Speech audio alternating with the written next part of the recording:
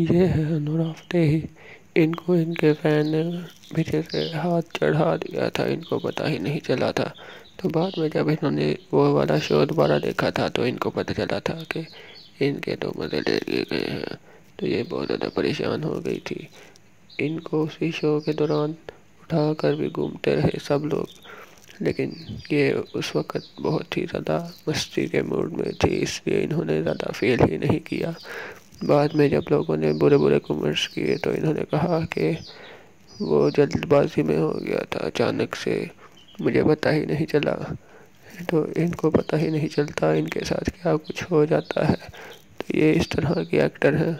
इनके साथ कुछ कर भी दो तो इनको कुछ पता भी नहीं चलता। सब कुछ इनके अंदर गायब हो जाता है। देखिए कैसे हाथ भी गायब हो गया है। और वो उठा के खूब इसके साथ मज़े ले रहा है। तो शेयर करें अपने दोस्तों के साथ सब्सक्राइब